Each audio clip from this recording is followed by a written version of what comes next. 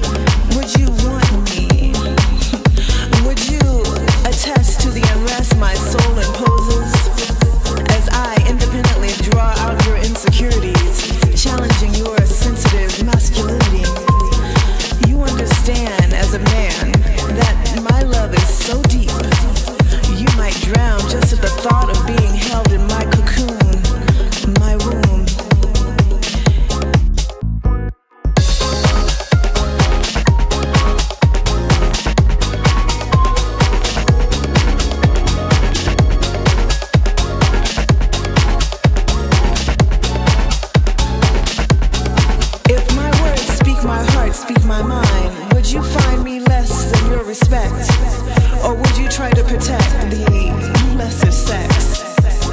Would you prefer me seen and not heard? Just a vision, a bird, a star, a car, or anything less than a woman? When you try to damage my dignity habitually, hitting me, trying to breach what you cannot reach, what's woven in my intricate womanly tapestry.